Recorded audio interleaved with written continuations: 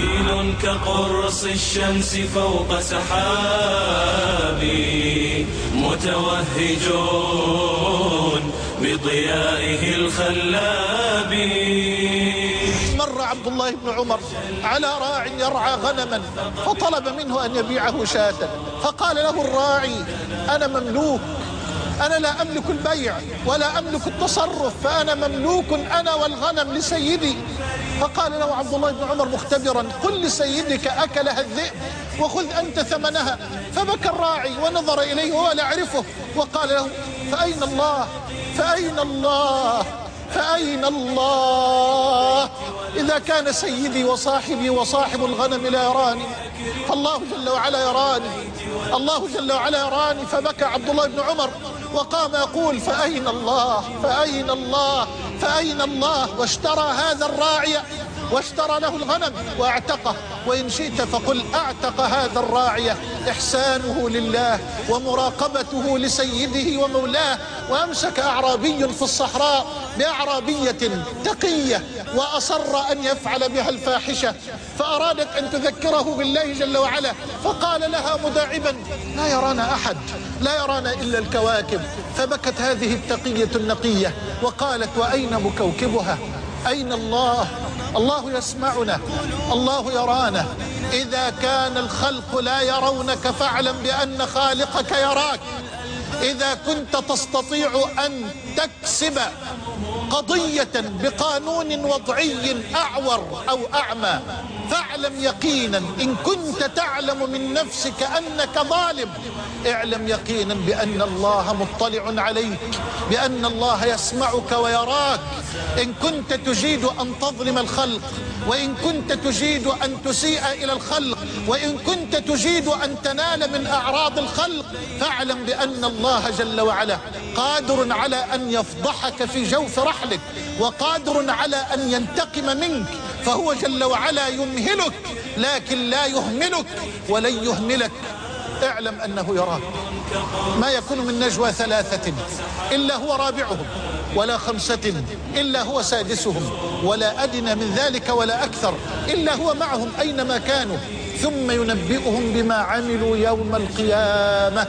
ثم ينبئهم بما عملوا يوم القيامة. إن الله بكل شيء عليم.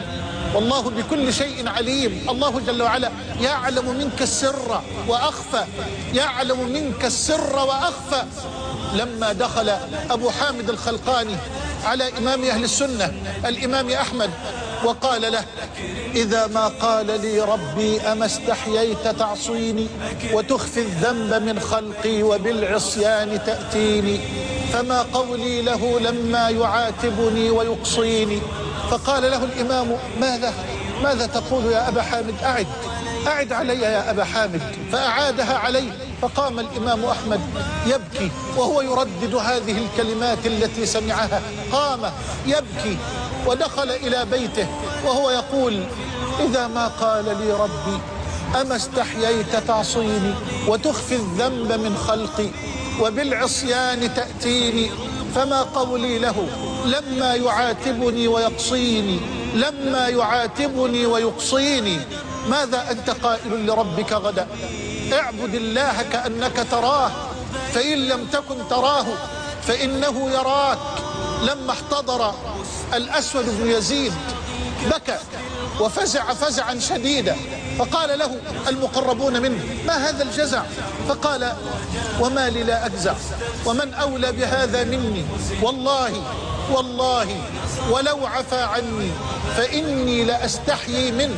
انظروا إلى أولئك الذين يعرفون جلال الله والله وإن عفى عني فإني لأستحيي منه. فقد يكون بين الرجل وأخيه ذنب فيعفو عنه أخوه فيظل العبد مستحييا من أخيه. فكيف بالله جل وعلا؟ يا حسرة العاصين عند معادهم يا حسرة العاصين عند معادهم يا حسرة العاصين عند معادهم. هذا وإن قدموا على الجنات هذا وإن قدموا على الجنات لو لم يكن إلا الحياء.